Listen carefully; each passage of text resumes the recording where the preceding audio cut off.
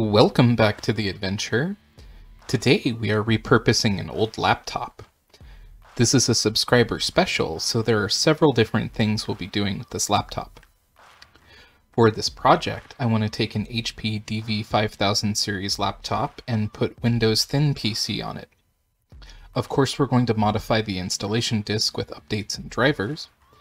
From there, we can experiment with the capabilities of the system and test out some web browsers.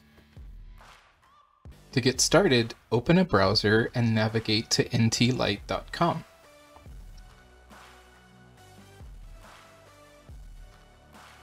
Click on Download at the upper right of the page.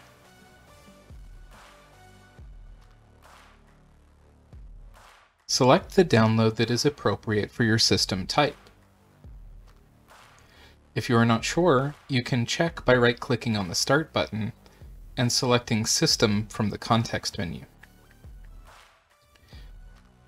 The system I'm using is 64-bit, so I will download the 64-bit version of NT-Lite. What we get is an executable file that we can run to launch the NT-Lite installer.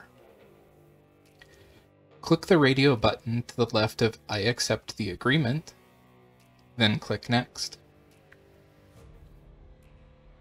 Pick the location where you want NT-Lite installed.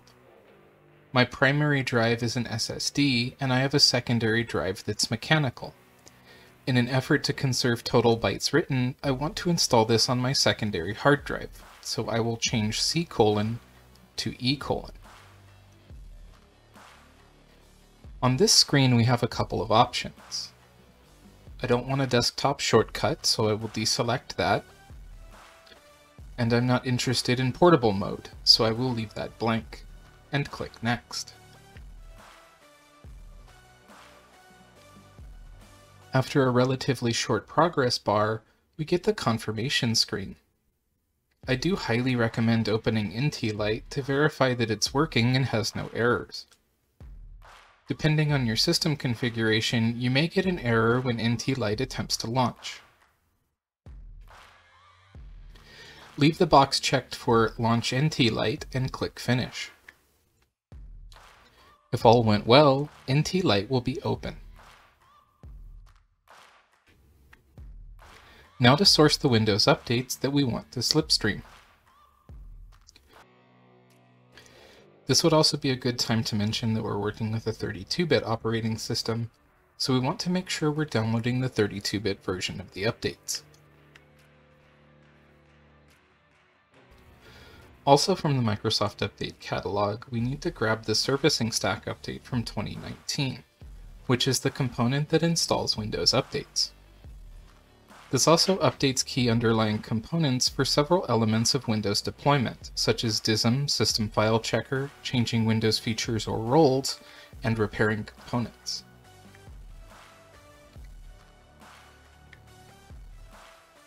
Then we need the SHA-2 code signing support update. The Secure Hash Algorithm 1 was developed as an irreversible hashing function and is widely used as part of code signing. Unfortunately, the security of SHA-1 has become less secure over time because of weaknesses found in the algorithm, increased processor performance, and the advent of cloud computing. Stronger alternatives, such as the Secure Hash Algorithm 2, are now strongly preferred as they do not experience the same issues.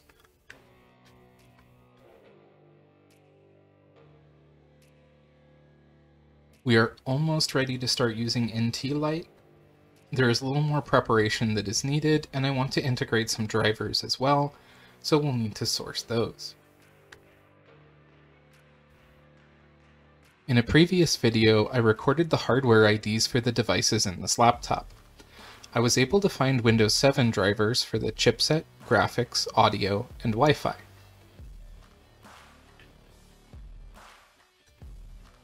We can take the Windows Thin PC ISO and open it in a program like Power ISO. Then extract the contents to a new folder on the desktop.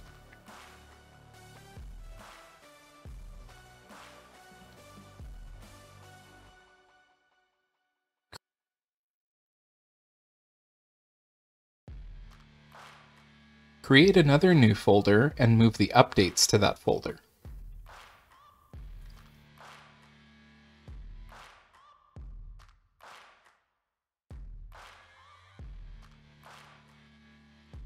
Then create a third new folder for the drivers. Device drivers generally come in an installer package which can be opened like a compressed file using a program like 7-zip. We can extract the contents of the executable over to the drivers folder, so NT Lite can access the drivers.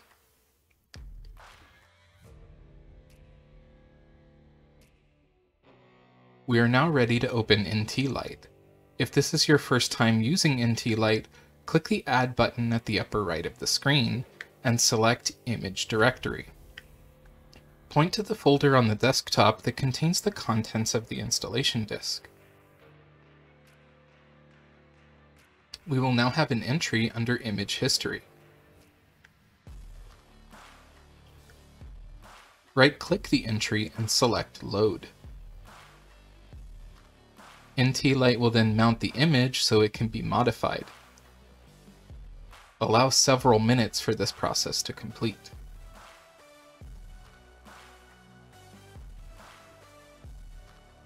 Now click Updates at the left of the screen. In this section, we can see what updates are already integrated with the image, and we can select new ones to integrate. Click the Add button at the upper left and select Directory Containing Packages and Add. Point to the folder on the desktop that contains the Windows updates. The left pane will fill with a list of updates. If everything looks correct, we can click Drivers at the left of the screen. Click Add at the top left of the screen and select directory containing drivers, then add. Point to the folder on the desktop with the drivers. The left pane will populate with a list of device drivers. The right-hand pane shows the devices on the PC where NT Lite is open, and if the driver is present in the installation disk or not. For this project, I don't have a need to make further customizations to the installation disk, however there are many more things you can do with NT Lite.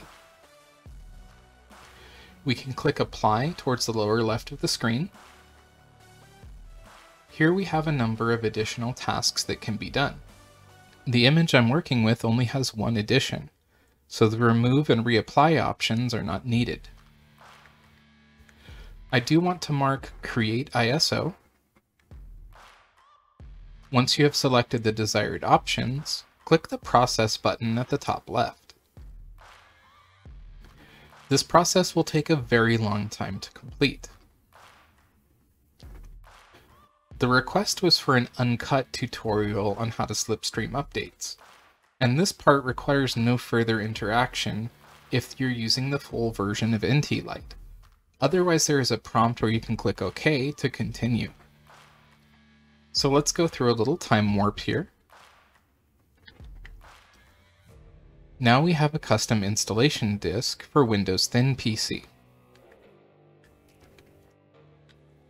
From here, I'm going to burn a disk image to a DVD using Power ISO.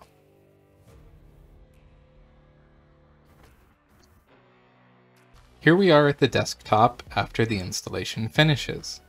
Let's see how we did starting with checking for updates. Something that is immediately apparent is the lack of a start search, which makes sense. All of the services needed to index and search consume resources.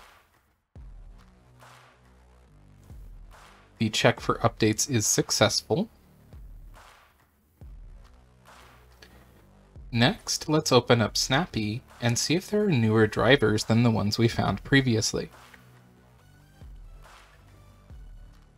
Not too bad. There is a driver for extra buttons on this laptop above the keyboard, and a newer SATA driver. Otherwise, we found suitable drivers for the hardware. Well done. From here we need to find a web browser. we need something that is both lightweight and functional. To begin our search, let's start with Opera, Midori, Brave, and Microsoft Edge. Normally, we would start our testing with the HTML5 test, but that's boring. Instead, let's open up Resource Monitor. Select the entries for Opera so we can track it, and then let's try using a web app or service like Google Maps. As you may imagine, some patience is needed when working with a low-spec PC. Google Maps loading feels sluggish, and it may not be because of Opera. The page does eventually load, and you can click around to switch suggested routes and add stops to the trip. After the page loads, it's usable.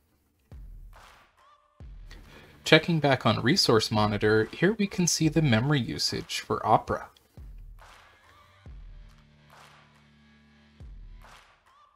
Next up, we can test Midori with a game called 2048. The game is supposed to have something of a sliding animation when the tiles move around the screen. Something very noticeable here is that the tiles just disappear and reappear. If we take a look at Resource Monitor, there is only one entry for Midori, and the RAM usage is very low.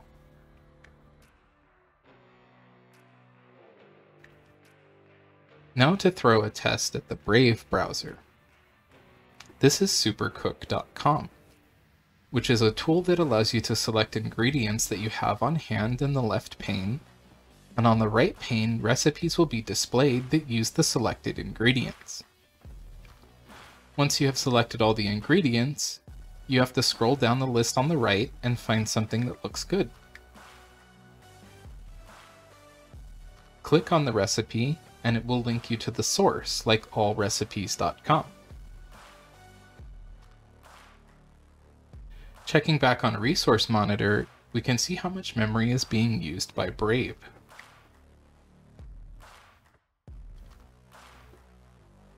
Of course we need to test Microsoft Edge now. Archive.org has scanned copies of magazines that you can read for free. Here is an issue of DOS Resource Magazine. Using these controls, we can turn the page and zoom in or out. Let's see what Resource Monitor has to say.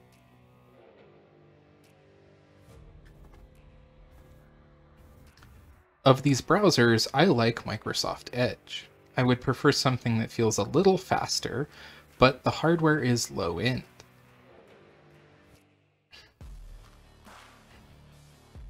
so the best value in terms of features versus performance goes to Edge. This is a good jumping off point for exploring the many practical uses for an old PC. You may be wondering, what is the PC we're working on in this video? It is an HP DV5200 series laptop we can use a few tools from the Hiren's boot CD to get some more specifics.